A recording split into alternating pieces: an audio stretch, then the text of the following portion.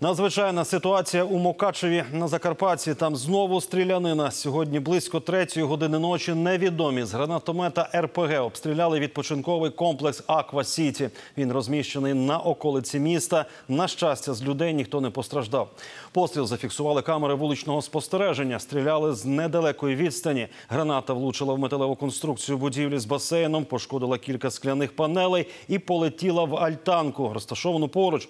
Там і застрягла в даху, не розірвавшись. Поліція відкрила кримінальне провадження за фактом навмисного пошкодження майна. Розпочато слідство. Правоохоронці шукають стрільців.